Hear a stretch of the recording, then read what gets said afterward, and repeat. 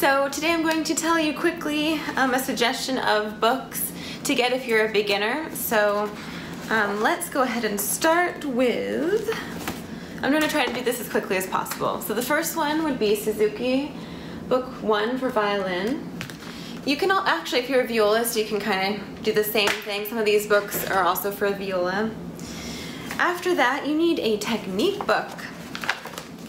So, we want to be able to get around the instrument, become familiar with different key signatures.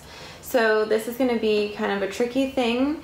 When you first start, I would maybe do this when you're kind of a few songs into Suzuki Book Violin 1, um, maybe like midway through just start adding some of these. Everyone's different, you know.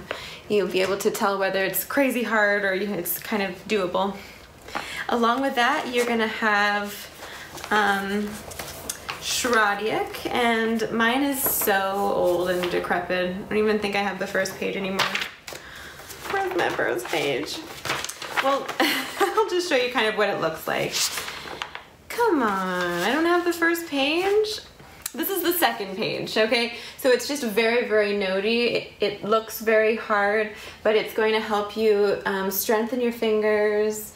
It's gonna help strengthen your ear and strengthen certain hand patterns that you're gonna be um, dealing with a lot. So basic hand pattern, low two, extended third finger, things like that are gonna be in here.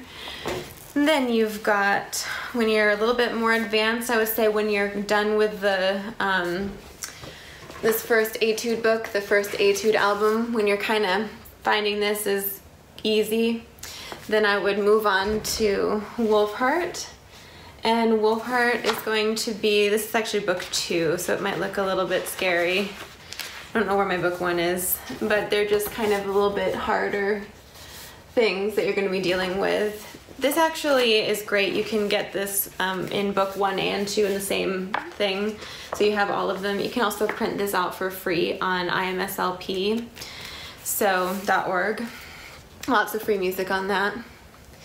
And you can also at the same time be working in um, Suzuki book two and three. At this point, if you're kind of doing Wohlfahrt, I would be playing in Suzuki book two or three at that point, and four maybe.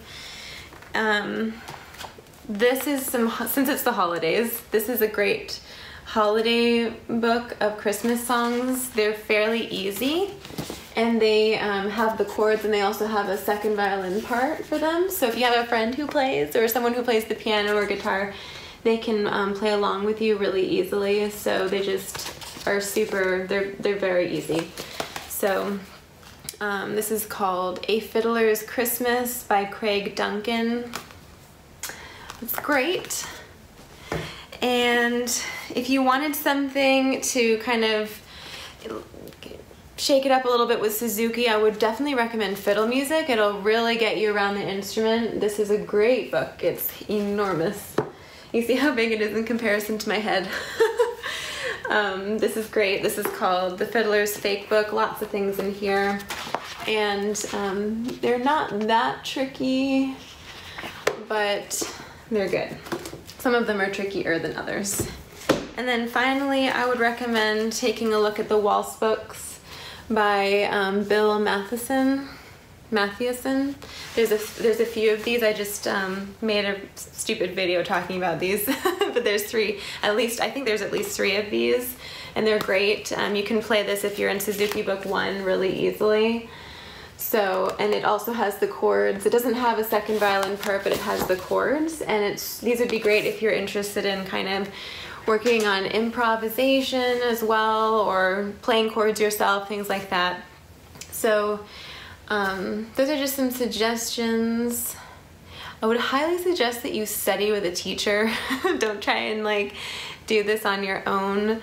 Um, maybe just like try if, if anything if you're serious about it you really should have a teacher but if anything just try to get some lessons here and there with someone just to make sure you're on the right path and you're doing it right because you know you're spending time practicing and do you want to be practicing like this what if you have been practicing like this for like five years all that struggle and toil you know and then you go to a lesson and, and your teacher's like you know what you're doing this all wrong you need to we need to change this. So you've spent five years doing it like that, and you could have been doing it correctly for five years. You know what I mean?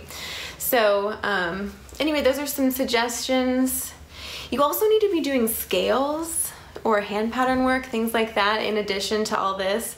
So I don't have a scale book that I use for um, my beginners or um, students that are up to kind of Suzuki book four or five. I don't really um, use a scale book.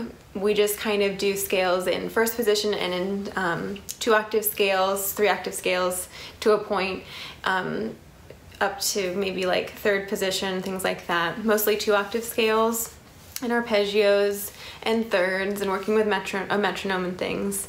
So those are invaluable. do your scales. Okay, and ear training as well this is just like a sporadic video. You have to be working on your ear training. If you cannot play do, re, mi in tune, do, re, mi, just whole steps, open one, two in the basic hand pattern, or one, two, three in the extended third finger, or in the low two, two, three, four. If you can't play do, re, mi in tune consistently all the time, then we have a problem. How are you gonna play anything in tune, right? So I hope that didn't burst your bubble. it's just, um, these are some suggestions for you. Food for thought, chew on it, digest it, and hopefully that helps.